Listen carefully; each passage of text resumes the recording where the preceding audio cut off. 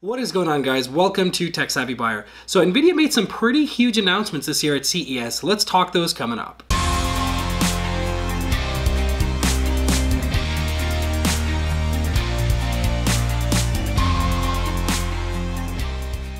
Welcome back guys. So as I mentioned, Nvidia has made some several huge announcements during CES this year. For those of you guys who are not familiar with what CES is, it is a consumer electronics show that takes place every single year, usually in January where all tech companies, gaming companies and whatnot come together, show off their newest and latest, greatest tech and different products that they're working on, a whole bunch of stuff. So unfortunately, I couldn't participate this year, but you bet your butt I'll be there next year for sure. Now, NVIDIA has made a couple of really, really big announcements that personally I'm very excited for, and I think that this is a good step in the right direction for the company as a whole, and even for us consumers or reviewers or whatever you want to call us, YouTubers slash, you know, just people who use their products at the end of the day. Definitely it's a good set of steps in the right direction like I mentioned. So number one, NVIDIA has finally officially launched and released the GeForce RTX 2060, guys. Now, this is priced in at $349, and NVIDIA is going on to claim that it has a performance of about 1.6 times that of a PS4 Pro, which is a pretty interesting way. You, you never really see you know, um, graphic card manufacturers ever compare their stuff with a console. So I guess that kind of has to speak something because they're they're saying it's 1.6 times the power of a PS4 Pro. So whatever that makes you guys feel, I, I think it's kind of weird that they did a you know comparison in that nature, but that doesn't mean that's not good. Now, this card has 240 tensor cores, which is the main thing that helps with computing ray tracing. And that's what's cool about this card is that it's actually going to support ray tracing. And they're even going as far to say that you'll be able to play Battlefield 5 at a solid 60 FPS with ray tracing enabled. And Eh, that it's allegedly 60% faster than the GTX 1060 6GB. So this card is actually positioning itself to be the next dominant mid-tier card, just like how you see with, you know, the GTX 1060, the RX 580s, cards of that nature. And it even says it's going to outperform the GTX 1070 Ti. Now, I've made a couple of videos during Black Friday and whatnot going through some of the good pricings that we saw on some of these cards, and the GTX 1070 Ti more or less falls around the 400 to $450 price range, and you can catch it on sale maybe for 380 or whatnot. Now, as I mentioned, the RTX 2060 is supposed to be 60% faster than the GTX 1060, which is today's kind of you know, mid-tier 1080p gaming card that I would refer people to. So that's a pretty decent step up. Again, this is going to trump even the GTX 1070 Ti like I mentioned, and all for a price of $349. I think that's pretty competitive considering the RX 590 is priced around $300. So for a little bit more, you're getting way more bang for buck in terms of performance. And of course, you get access to doing ray tracing. So definitely a pretty, pretty solid announcement. Again, a lot of people were speculating that this was going to happen, including myself. But nonetheless, I'm very excited. I can't wait to get my hands on this specific card because I'm pretty sure the benchmarks are going to be pretty cool on this card. So I'll keep you guys updated with that once I do get my hands on that.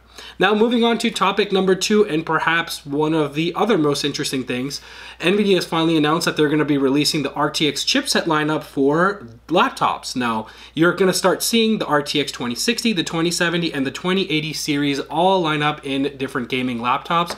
I know that Acer and Asus have both already begun developing different laptops that will contain these processors.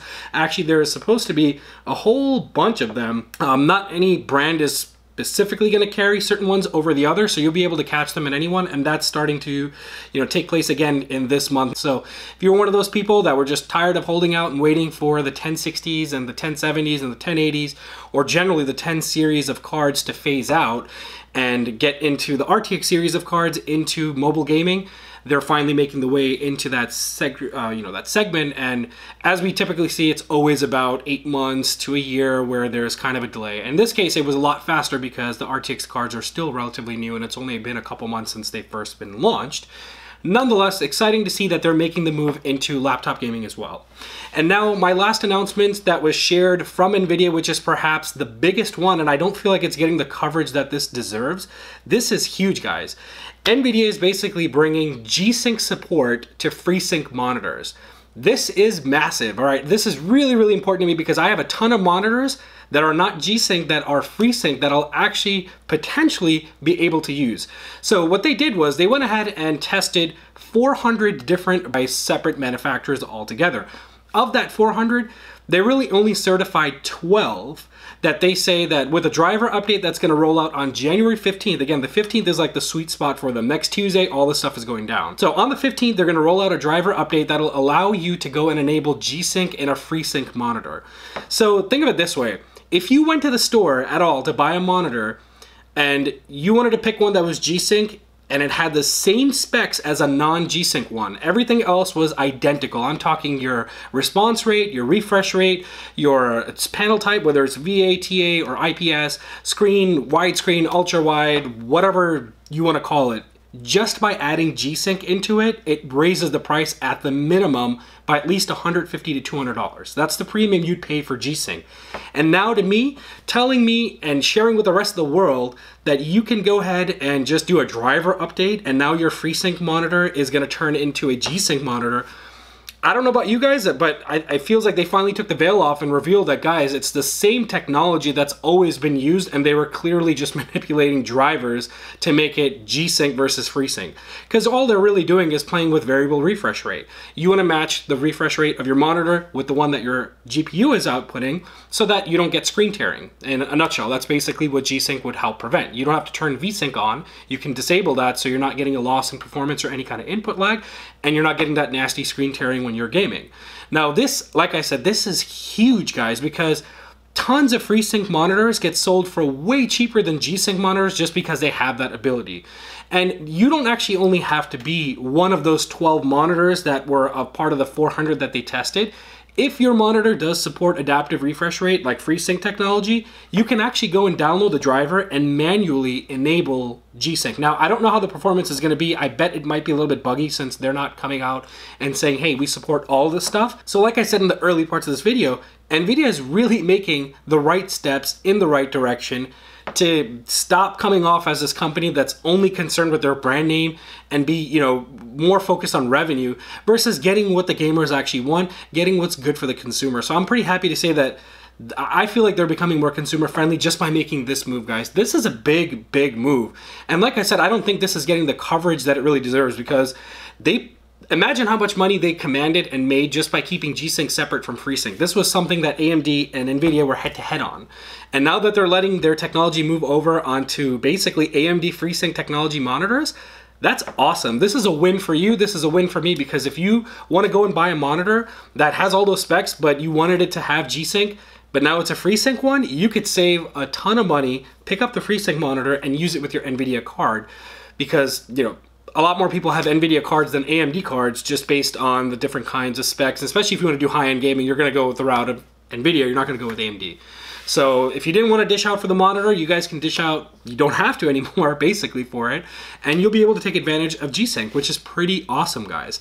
But that pretty much winds us up, guys. I'm going to try and give you as much coverage as I can of CES, of all the things that I think are pretty major to our industry, whether it's tech or gaming, and some of the real cool things that are coming out. There's tons of stuff. If you guys want to check them out as well, you know, keep a eye out on Twitter.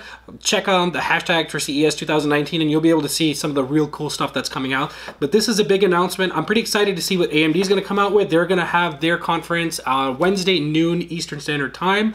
So be sure to see a video from me giving you the highlights. Hopefully they revealed a Navi and 7 nanometer processor chips that we've been waiting for forever it feels like but I hope they come and do it guys that'd be awesome anyways let me know what you guys think below do you guys think this is pretty awesome this is huge news are you excited that you can possibly use your FreeSync monitor with G-Sync capable GPUs or NVIDIA cards basically and uh, you know, what do you think about the new 2060, the RTX 2060? I, for one, think it's a pretty decent card. There's decent performance, 1.6 times the processor performance of a, or um, the graphical performance of a PS4 Pro for that price range and all the other stuff that you can do with it. Like I said, you can actually do 4K editing with that card as well. They they went on to say stuff like that on their website, but not to carry on with that anymore. Let me know what you guys think in the comments below. As always, if you're new to my channel, do consider subscribing. It always does help this channel grow.